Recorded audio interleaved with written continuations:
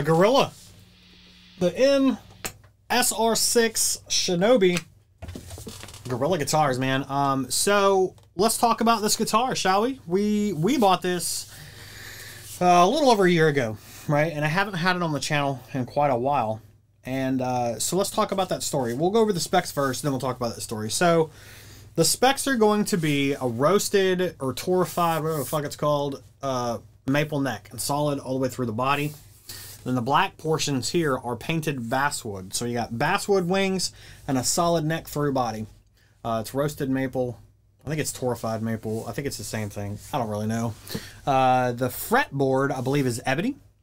It is not Richlite. It is not quite dark enough to be Richlite. At least I don't think. Uh, it does have a TUSQ nut. Um, locking tuners, one pickup, one volume knob, and a TOM style bridge. Now, there is quite a bit of noise. So I do have some foam to help knock that down on both the nut and the bridge side. The pickup that comes with it is a Seymour Duncan um, Black Winter. Now I did swap it out. I have a DiMarzio Evolution. The reason I chose the Evolution is because it's very similar in tone to the Black Winter, only it's not as high and brittle. So for me, this was a better fit. Uh, the amp that we were using in the beginning was the Victory Super Kraken and I was boosting it with uh, the Super Overdrive, the SD1. But let's talk about the story, shall we? So when I got the guitar, it's been a, a little over a year, year and a half ago. Um, I got it when it first came out. It was about a thousand dollars US at the time. Uh, of course, inflation, economics, and things like that. The price has gone up now. Uh, but anyway, so I got mine. Um, it came in, and it was pretty good. I was really happy with it. Uh, it did have a pretty good fret job over time, that became uh, a very big problem. Uh, the bottom, I chipped it.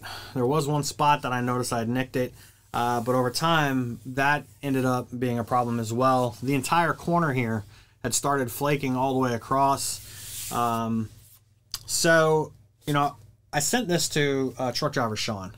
Uh, he wanted to check out the Shinobi because it was one of the new series, and I think at the time he was playing his uh, Smoke, his Guerilla Smoke uh, which is a phenomenal guitar. I've yet to play it, but uh, it, it looks incredible. So he's also had a couple other ones. But anyway, so I figured, you know what, I'm going to send it to you. I'm going to let you check it out.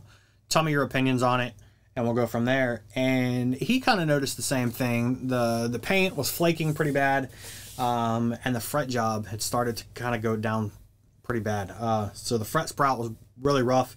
And with the fret sprouting, the burrs were noticeable a lot.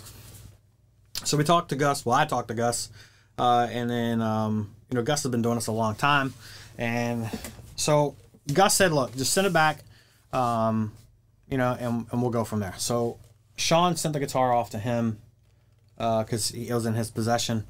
So Gus gets the guitar, and you know, I'm not saying everybody's perfect. No company is perfect, uh, but it's what companies do once they realize there's an issue that separates them from everybody else. And in this case, there I, I, guess there was a bad employee. Um, you know, QC somehow got missed. Um, at least on mine, it was a lemon. Gus did admit to that. He apologized profusely.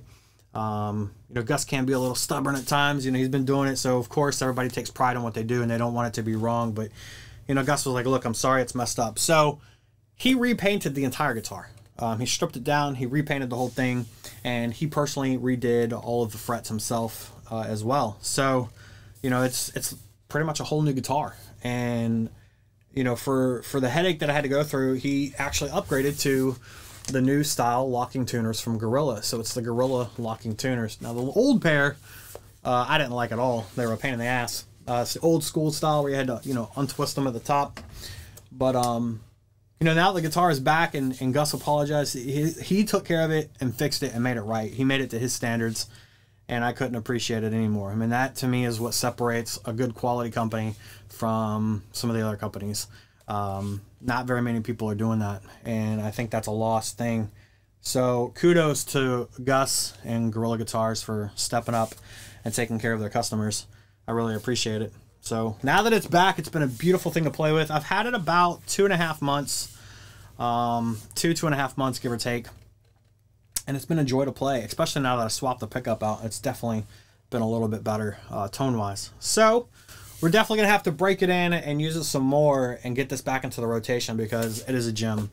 So, Guerilla Guitars, thank you for fixing my issues uh, and noticing, you know, the faults.